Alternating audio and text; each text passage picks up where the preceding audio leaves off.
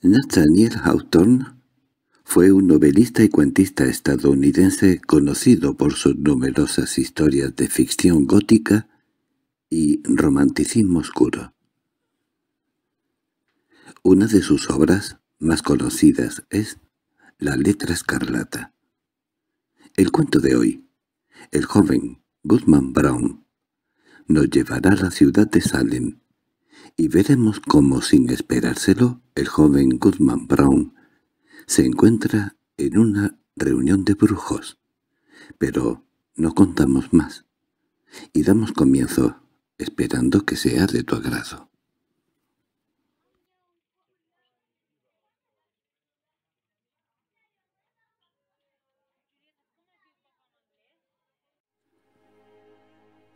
El joven Goodman Brown Un cuento de Nathaniel Hawthorne El joven Goodman Brown salió al atardecer de su casa en el pueblo de Salem. Pero nada más cruzar el umbral volvió la cabeza para darle un beso de despedida a su joven esposa. Y Faiz, que es como se llamaba la mujer, asomó su bello rostro a la calle y dejó que el viento jugara con las cintas rosadas de su cabello mientras se dirigía a su marido. «Cariño», susurró con voz débil y triste cuando tuvo los labios junto al oído de su marido. «Te ruego que pospongas tu viaje hasta el amanecer y duermas esta noche en tu cama».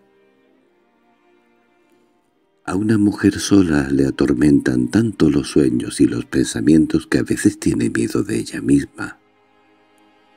Por favor, demórate conmigo esta noche, marido mío, con más razón que ninguna otra noche. Mi amor y mi fe, replicó el joven Guzmán Brown, de todas las noches del año esta es precisamente la que debo pasar lejos de ti. Mi viaje, como tú lo llamas, debe ser finalizado entre este momento y el amanecer. ¿Qué ocurre, mi dulce y preciosa esposa? ¿Acaso ya dudas de mí cuando solamente llevamos tres meses casados?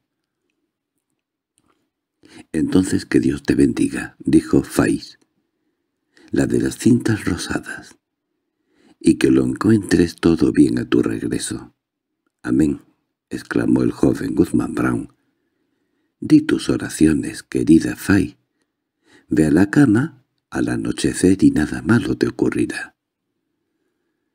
Así se separaron. El joven siguió su camino hasta que, cuando ya estaba doblando la esquina del templo, volvió la vista atrás y vio el rostro de Fay todavía contemplándolo. Con un aire de melancolía que sus cintas rosadas no disipaban. «Pobrecilla Faiz», pensó él, pues le remordía la conciencia. «Qué desdichado soy dejándola sola para cumplir esta misión».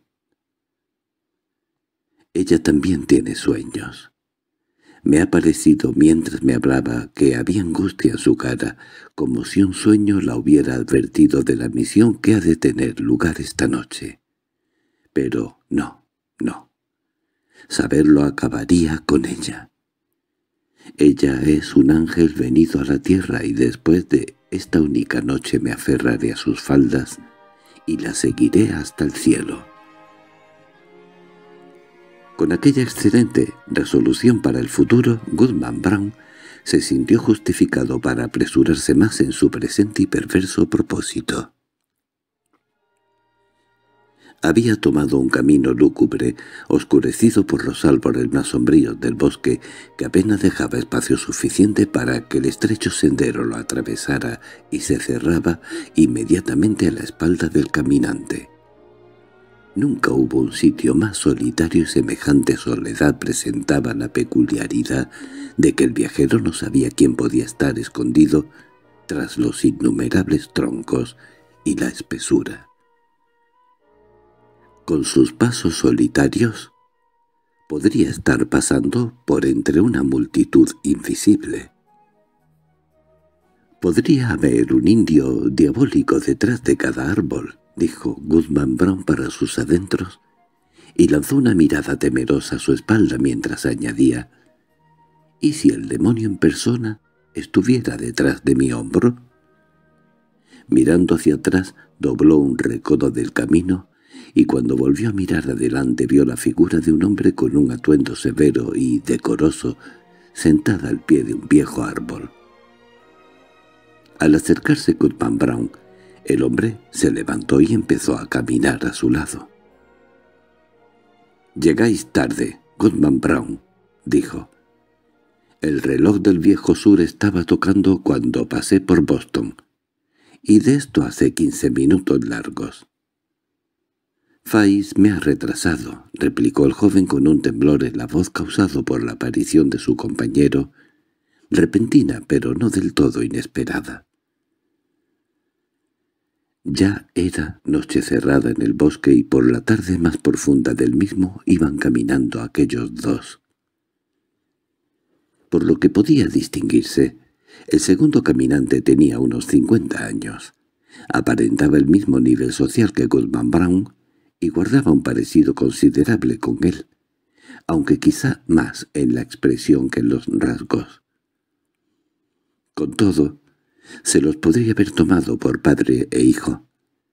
Y aunque el mayor de los dos iba ataviado con tanta simplicidad como el más joven y tenía unos modales igualmente sencillos, mostraba ese aire indescriptible de alguien que conoce el mundo y no se sentiría avergonzado cenando en la mesa del gobernador o en la corte del rey Guillermo.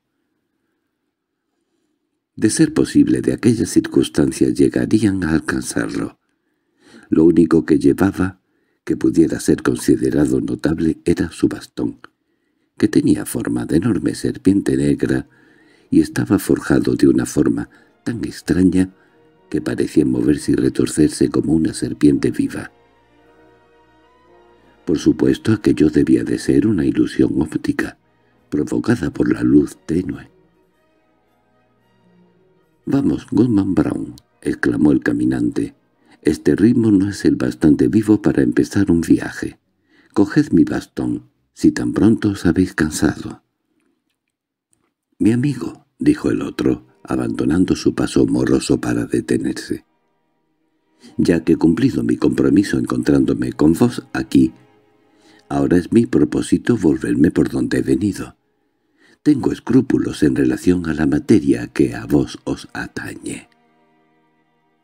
—¿Eso decís? —replicó el hombre del bastón de serpiente con una sonrisa. —Caminemos de todas formas. Reflexionando al andar, y si no os confesco podéis volveros. Todavía no nos hemos adentrado más que un poco en el bosque. —Demasiado lejos he ido —exclamó el gentil hombre poniéndose en marcha de forma inconsciente. Mi padre nunca se adentró en el bosque para cumplir una misión, ni tampoco su padre antes que él. Hemos sido una estirpe de hombres honestos y buenos cristianos desde el tiempo de los mártires. Y he de ser yo el primero de los Brown en tomar este camino e ir. —Con esta compañía, queréis decir —observó el otro, interpretando su pausa. Bien dicho, Goodman Brown. He conocido a vuestra familia mejor que ninguna otra entre los puritanos, y eso no es decir poco. Yo ayudé a vuestro abuelo, el alguacil, cuando azotó a la mujer cuáquera por las calles de Salem. Y fui yo quien le trajo a vuestro padre un madero de vino, encendido en mi propia chimenea, para que incendiara un poblado indio en la guerra del rey Felipe.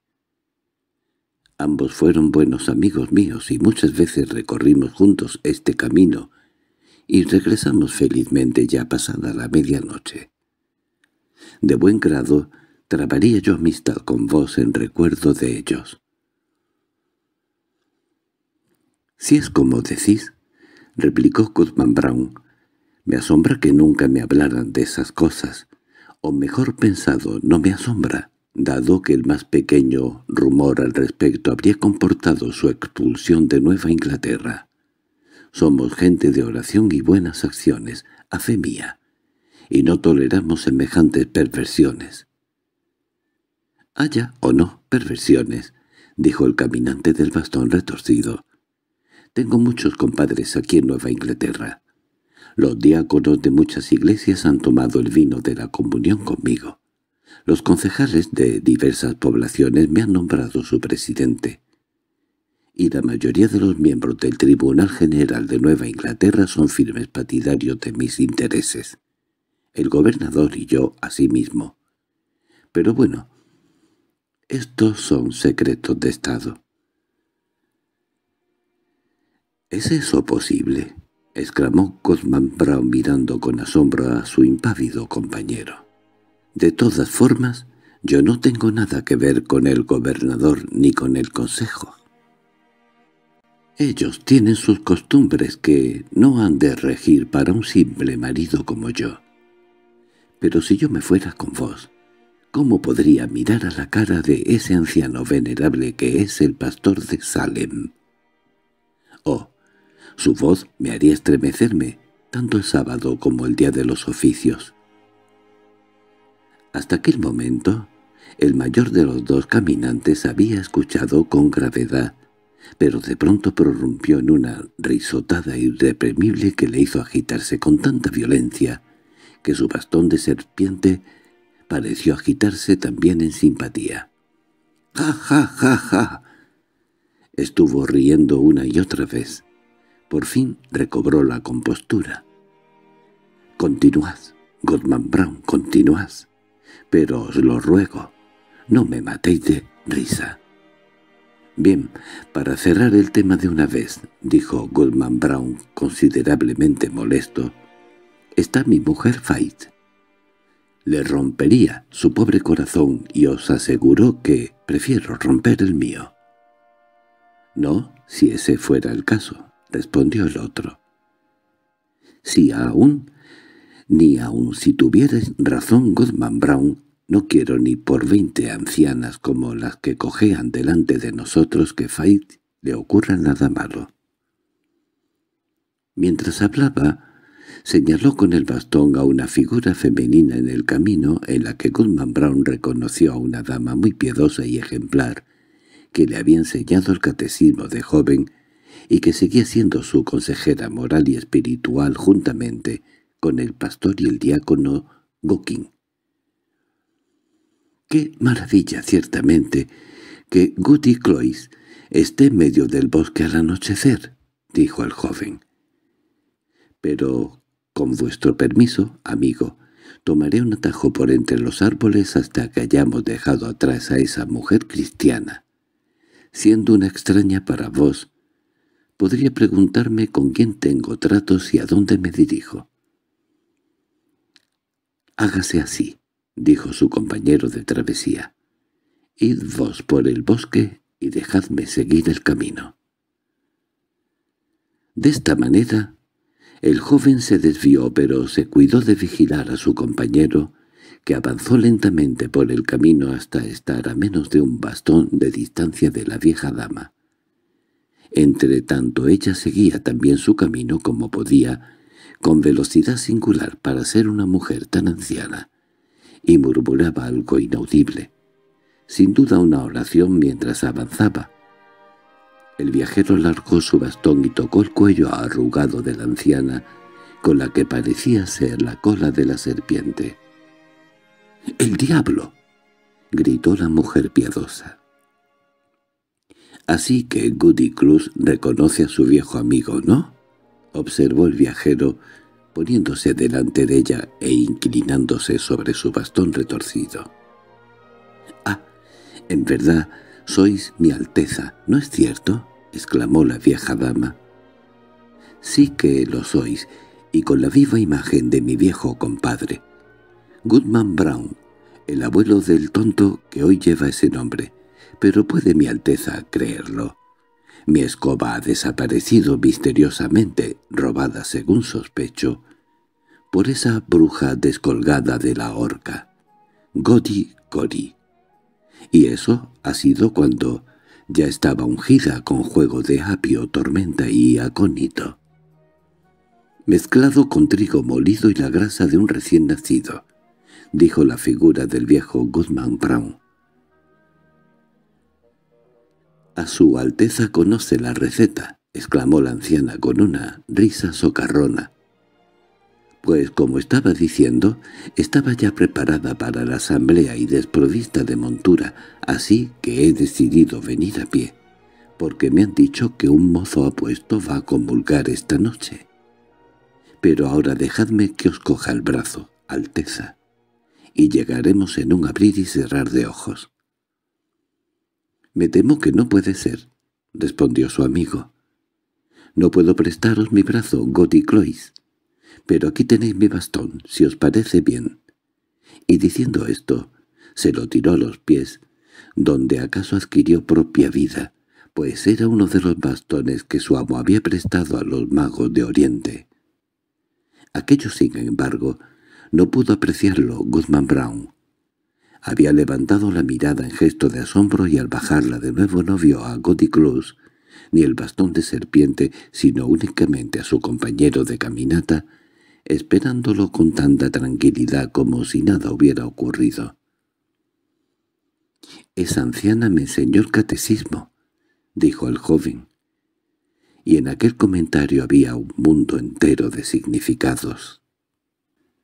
Continuaron avanzando mientras el mayor de los dos exhortaba a su compañero a apresurarse y a preservar en el camino, discutiendo con tanta pericia que sus argumentos más parecían desarrollarse en el alma de su oyente que haber sido sugeridos por él. Mientras avanzaban agarró una rama de arce que le sirviera de bastón y empezó a quitarle los brotes y las ramitas que estaban mojadas en el mismo momento en que sus dedos las tocaron, se marchitaron y se quedaron resecas. Así fueron los dos, caminando a buen ritmo, hasta que de pronto, en una hondonada oscura del camino, Goodman Brown se sentó en el tocón de un árbol y se negó a continuar. «Amigo», dijo con obstinación, «ya me he decidido, no daré un paso más que me acerque a esta misión. ¿Qué más da que una vieja elija seguir al diablo cuando yo pensaba que iba al paraíso? ¿Acaso por eso debería dejar a mi amada Faid y seguirla a ella? «Será mejor que reflexionéis acerca de esto por el momento», dijo su compañero con tranquilidad. «Sentaos y descansad un rato, y cuando os apetezca poneros nuevamente en marcha, he aquí mi bastón para ayudaros a seguir». Sin más palabras, le tiró a su compañero la vara de arce y desapareció de su vista rápidamente, como si se hubiera desvanecido en las sombras cada vez más densas. El joven se sentó unos instantes junto al camino, ratificando su decisión, imaginando la conciencia tan limpia con que iba a encontrarse con el pastor en su paseo matinal y pensando que no iba a tener que ocultarse de la mirada del diácono Gokin. Y qué tranquilo iba a ser ahora su sueño. Esa misma noche. Esa misma noche en que tanto sufrimiento debía haber padecido, completamente puro y dulce en los brazos de Fais. En medio de aquellas reflexiones tan placenteras como loables, Goodman Brown oyó un trote de caballos acercándose por el camino y le pareció aconsejable ocultarse dentro de los márgenes del bosque. Consciente del propósito criminal que lo había llevado hasta allí, por mucho que ahora se alejara felizmente del mismo. Los ruidos de los cascos y las voces de los jinetes se acercaron. Eran dos voces graves y maduras que conversaban en tono sobrio a medida que se aproximaban. Aquellos sonidos entremezclados parecieron pasar de largo por el camino a pocos metros del escondrijo del joven. Pero debido, sin duda, a la oscuridad casi total que reinaba en aquel lugar en concreto, ni los viajeros ni sus corceles fueron visibles. Aunque sus figuras pasaron rozando los materrones de los márgenes del camino, no se pudo ver que pasaran ni siquiera un momento bajo el tenue resplandor de la franja del cielo brillante, de banda a banda de la cual debían de haber pasado. Goodman Brown se puso en cuclillas y luego de puntillas, apartando las ramas y asomando la cabeza tanto como se atrevió, pero no pudo distinguir ni una sombra. Se sintió más contraído todavía, porque podría haber jurado, si la cosa fuera posible, que había reconocido las voces del pastor y del diácono Gokin cabalgando a paso lento, como harían en caso de dirigirse a alguna ordenación o concilio eclesiástico. Mientras estaban todavía lo bastante cerca como para distinguir sus palabras, uno de los jinetes se detuvo para arrancar una vara.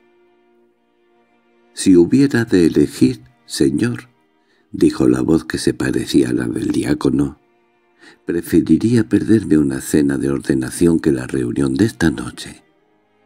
Me han dicho que van a venir miembros de nuestra comunidad desde Falmouth y más lejos todavía, y otros de Connecticut y Long Island, además de varios brujos indios que, a su modo conocen tantas artes diabólicas como los mejores de nosotros.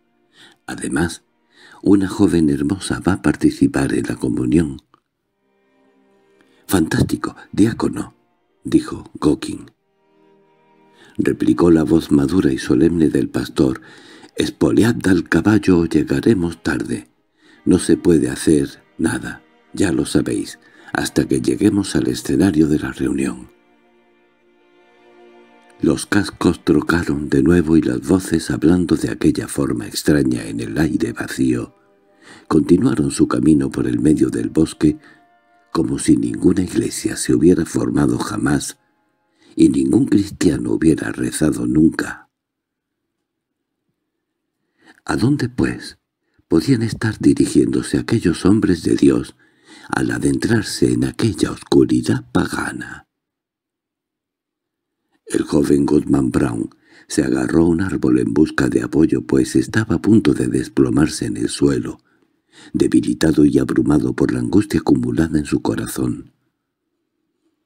Levantó la vista al cielo, dudando que realmente hubiera un cielo encima de su cabeza y sin embargo ahí estaba la bóveda azul con las estrellas brillando en ella. Mientras haya un cielo en las alturas y mi fais esté aquí abajo, resistiré con firmeza al diablo, exclamó Goodman Brown. Mientras estaba mirando hacia arriba, en dirección a la amplia bóveda del firmamento, y tenía las manos unidas para rezar, una nube cruzó a toda prisa el cenit de la misma, aunque no soplaba ningún viento, y ocultó las estrellas. El cielo azul seguía siendo visible, salvo la parte del mismo que quedaba justo encima de su cabeza, en donde aquella masa negra de nubes avanzaba a toda prisa hacia el norte. De las alturas aéreas, como si saliera de las profundidades de aquella nube, vino un confuso e impreciso ruido de voces. En un momento dado al oyente le pareció distinguir los acentos de sus conciudadanos, hombres y mujeres, tanto piadosos como impíos. Muchos de ellos habían compartido con él la mesa de la comunión, y a otros los había visto armando brega en la taberna.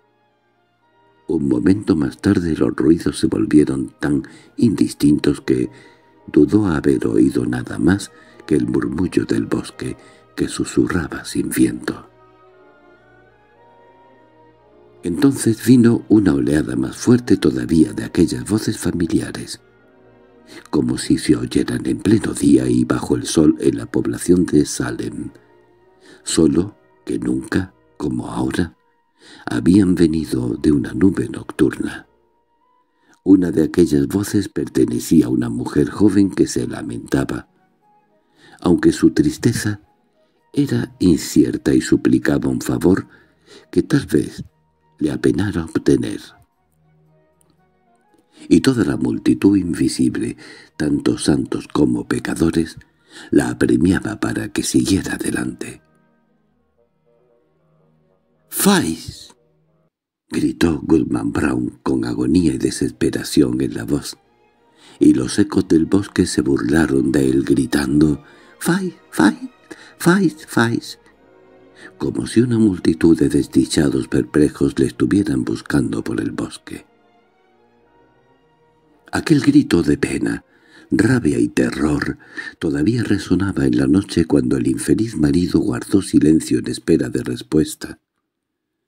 Se oyó un grito, ahogado de inmediato por un murmullo más alto de voces que dieron paso a risotadas tenues, a medida que la nube oscura se alejaba, dejando el cielo despejado y silencioso por encima de Goodman Brown.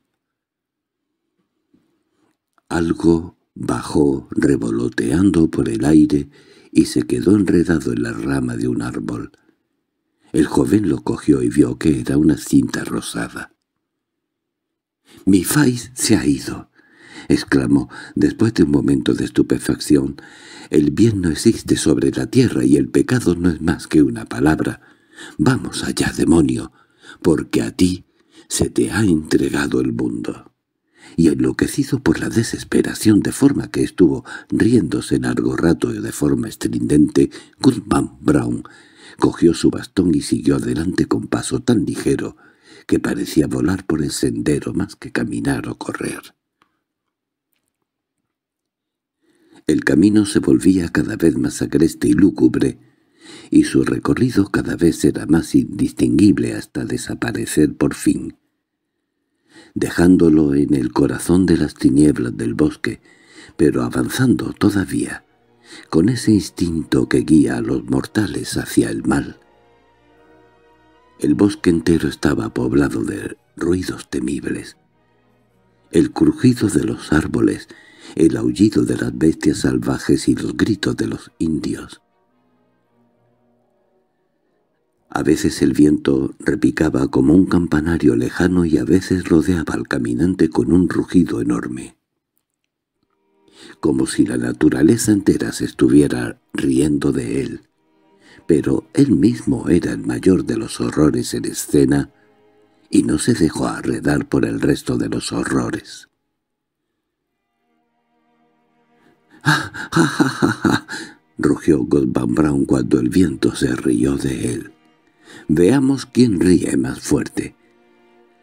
No queráis asustarme con vuestras artes diabólicas. A mí la bruja, a mí el hechicero, a mí los brujos indios, a mí el diablo en persona. Aquí viene Goodman Brown. Podéis temerlo tanto como él os teme a vosotros. Lo cierto era que en todo el bosque encantado no había figura más temible que la de Goodman Brown. Siguió volando entre los pinos oscuros, blandiendo su bastón con ademanes frenéticos, dando ahora rienda suelta a una inspiración de horrible blasfemia y dejando escapar unas carcajadas que provocaban que todos los ecos del bosque se rieran como demonios a su alrededor. El diablo en su forma verdadera no era tan terrible como cuando brama con la apariencia de un hombre. De esa forma corrió el endemoniado hasta que vio delante de sí una luz roja temblando, como si las ramas y los troncos cortados de los árboles ardieran y elevaran su fulgor al cielo en plena medianoche. Se detuvo, en un remanso de la tormenta que lo había llevado hasta allí, y llegó hasta él, lo que parecía el rumor de un himno que resonaba solemne a lo lejos y en cuyo seno se juntaban muchas voces. Conocía la canción. Era un tema bastante familiar en el coro del templo del pueblo. La estrofa se apagó con gravedad y fue alargada por un coro, no ya de voces humanas, sino formado por todos los ruidos del bosque, repicando juntos en una espantosa armonía. Goodman Brown gritó, pero no pudo oír su propio grito, ya que sonó en conjunción con los ruidos del páramo. Durante aquel intervalo de silencio avanzó a hurtadillas hasta tener la luz delante de los ojos. Al fondo de un claro bosque cerrado con la muralla oscura de los árboles, se erguía una roca que presentaba un parecido tosco y natural de un altar o un púlpito. Rodeada por cuatro pinos resplandecientes con las copas ardiendo y los troncos intactos, como velas de una reunión vespertina. La masa del follaje, que había invadido la cima de la roca, también estaba en llamas, resplandeciendo en medio de la noche e iluminando todo el claro. Todas las ramas colgantes y todas las guirnaldas de ramas estaban ardiendo. A medida que la luz roja se elevaba y descendía, una congregación numerosa surgía alternativamente, desaparecían las sombras y aparecía de nuevo, por decirlo así, de la nada, poblando de repente el corazón del bosque solitario. Una multitud grave y enlutada, dijo Guzmán Brown. Y ciertamente lo era.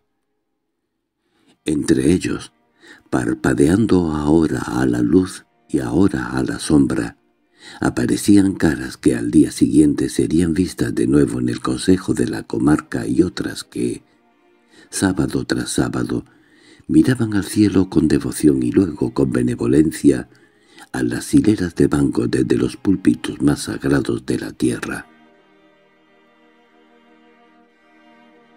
Algunos afirman que la mujer del gobernador estaba allí.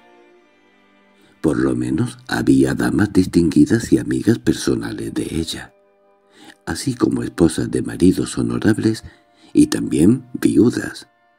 Una multitud enorme, y doncellas maduras todas de excelente reputación, y jóvenes hermosas que temblaban por si sus madres las estaban espiando. Cuando los destellos repentinos que alumbraban el claro a oscuras no cegaban a Guzmán Brown, tuvo la ocasión de reconocer a una veintena de miembros de la iglesia de Salem, todos famosos por su notable santidad. Pero mezclándose de forma irreverente con aquella gente severa, piadosa y de buena reputación, con aquellos ancianos de la iglesia, aquellas damas castas y vírgenes ingenuas. Había hombres de vida disipada y mujeres de reputación manchada, desdichados que se habían entregado a todos los vicios mezquinos y repulsivos, y que estaban bajo sospecha de haber cometido crímenes horribles. Era extraño ver que la buena gente no se apartaba de los perversos ni tampoco los pecadores se avergonzaban ante los piadosos. Asimismo, diseminados entre sus enemigos de caras pálidas estaban los hechiceros indios, o brujos, que a menudo habían sembrado sus bosques nativos con más encantamientos repulsivos de los que ningún brujo inglés conociera. —¿Pero dónde está Fais? —pensó Goodman Brown. Y lo asaltó un temblor mientras la esperanza surgía en su corazón. Otra estrofa del himno se elevó una melodía lenta y lastimera, como de amor piadoso, pero unida a unas palabras que expresaban todo lo que nuestra naturaleza puede transmitir del pecado y todavía sugerían cosas mucho peores. Pues la sabiduría de los demonios no la pueden entender los mortales.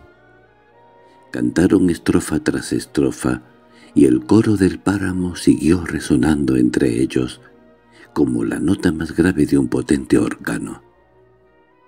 Y con el repique final de aquel himno espantoso hubo un ruido como el rugido del viento, el murmullo de los torrentes, el aullido de las bestias y todas las demás voces de la espesura y redenta se mezclaran y armonizaran con las voces de los hombres impíos, en homenaje al príncipe de todo.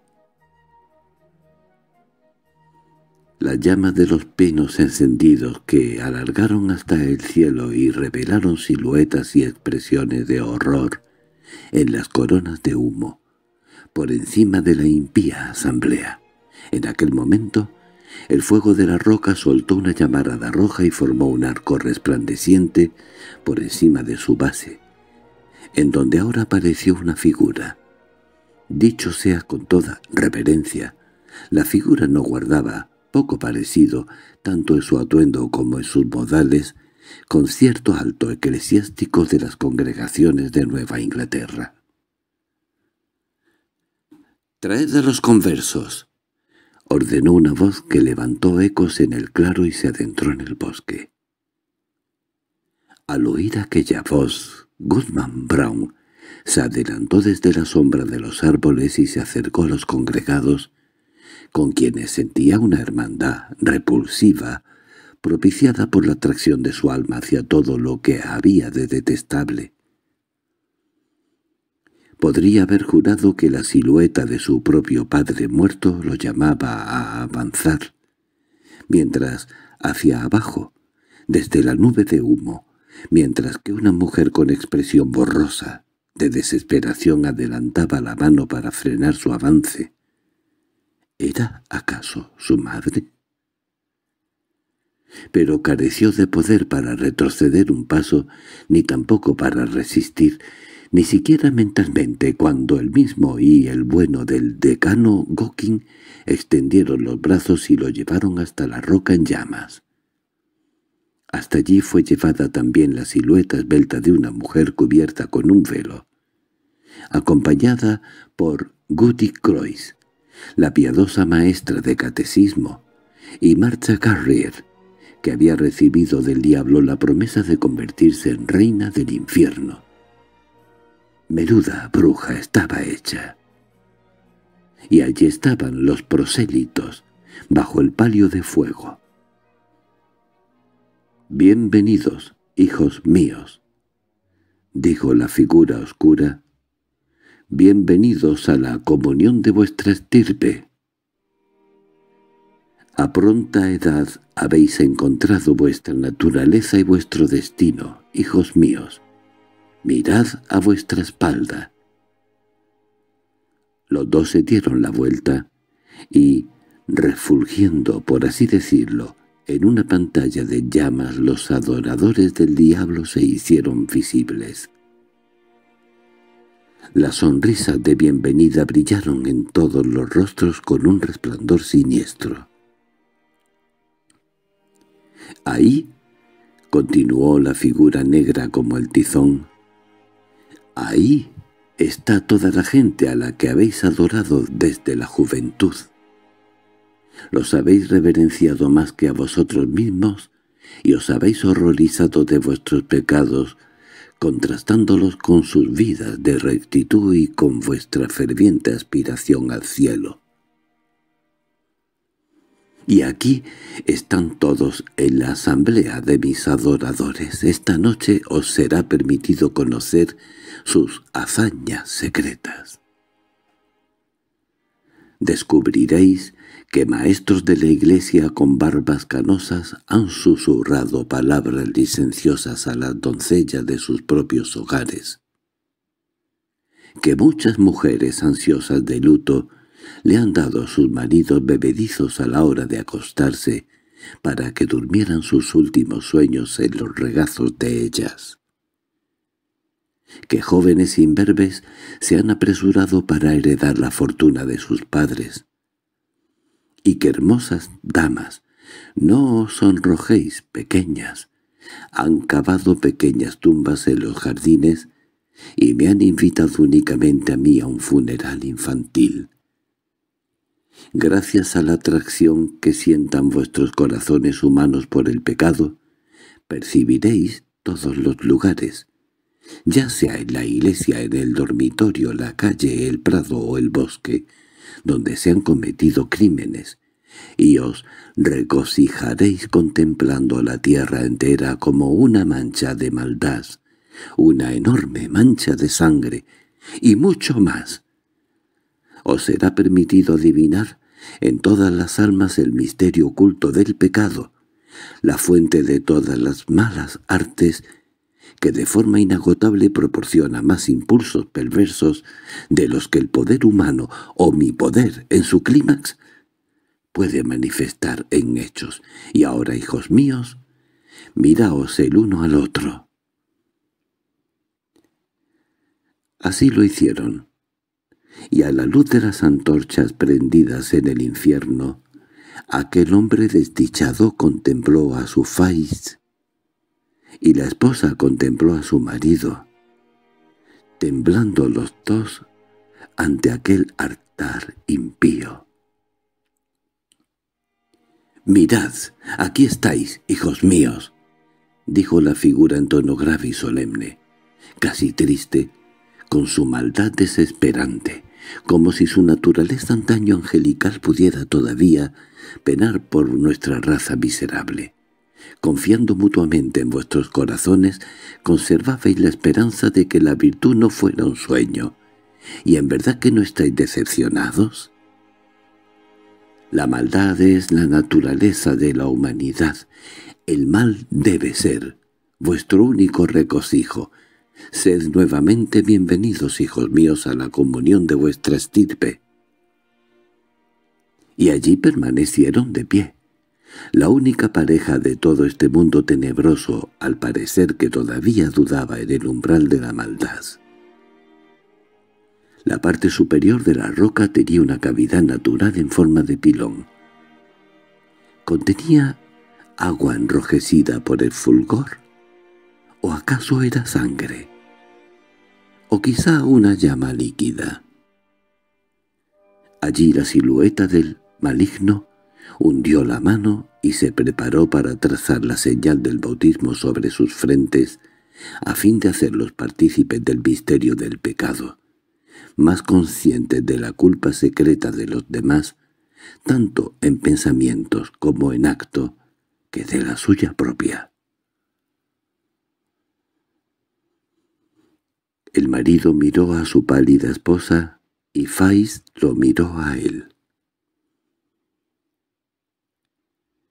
¿Qué seres desdichados y polutos verían la próxima vez que se miraran mutuamente igual temblorosos por el miedo o que revelaran a lo que vieran. —¡Fais! ¡Fais! —gritó el marido. —Levanta la mirada al cielo y resiste al maligno. No pudo adivinar si Fais le había obedecido.